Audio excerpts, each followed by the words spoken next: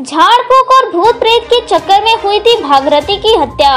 आदाब, आप देख रहे हैं भारत मीडिया, खबर बलिया जनपद के फरसाटार से। फरसाटार में हुए भागरथी हत्याकांड का पुलिस ने किया खुलासा। उभाव पुलिस ने हत्या में शामिल दो विभुक्तों को किया गिरफ़्तार। पुलिस ने हत्याकांड का खुलासा करते हुए कहा, मृतक झाड़ फूक करता था। भूत प्रेत के चक्कर में हुई हत्या। इंस्पेक्टर अभाव के अनुसार मृतक के चचेरे भाई ने कराई हत्या। हत्या में शामिल तीसरे अभिभुक्तों की पुलिस कर रही है तलाश।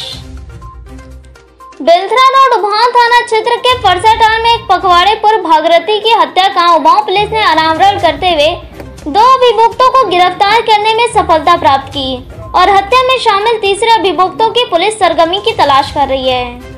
उभा थाना अध्यक्ष अविनाश कुमार सिंह ने बताया कि भागरथी झाड़फूक भी करता था। भूत प्रेत के चक्कर में ही उसकी हत्या मृतक के चचेरे भाई जनार्दन ने सुपारी देकर इसलिए करा दी कि उसके मन में शंका थी कि भागरथी उसे तंत्र मंत्र द्वारा परेशान कर रहा था। जनार्दन ने पूछताछ में बताया कि ओम प्रकाश यादव पुत्र कलिका निवासी बरोहा थाना घोसी, जनपद मऊ से भागरथी को जान से मारने की एवज में सरकारी नौकरी देने का वादा किया था। बाद में ओम प्रकाश द्वारा एक सुपारी किलर से मुलाकात करवाकर काम करने की बात की गई। ओम प्रकाश यादव के साथ आए तीसरे अभिभुक्तों को जनार्दन ने बीस हज़ार नकद और बाद में कुछ पैसे उसके खाते में डाला।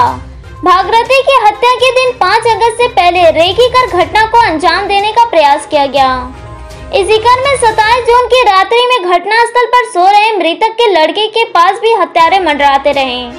किसी ने लड़के को फ़ोन पर बताया कि मोटरसाइकिल से तुम्हारे डेरे पर कुछ लोग आ जा रहे हैं। देखो तो कहीं वो पशु चोर तो नहीं। जागरण होने पर मोटरसाइकिल सवार भाग निकले। ज्ञात हो कि अपने डेरे पर सो रहे 50 वर्षीय भागरथी की 5 अगस्त की रात्रि को गोली मारकर हत्या कर दी थी। 6 अगस्त की सुबह मृतक की पत्नी धनौती देवी अपने पति को जगाने पहुँची तो भागरथी चरपाई पर खून से लथपथ मृतक पाए गए। यह देखकर वह चिल्लाने लगी, जिसे पास पड़ोसी के लोग इकट्ठा हो गए। घटनास्थल पर पहुँचे एसएसपी दुर्गा प्रसाद तिवारी ने घटनास्थल पर शीघ्र पर्दाफाश करने का वादा किया था।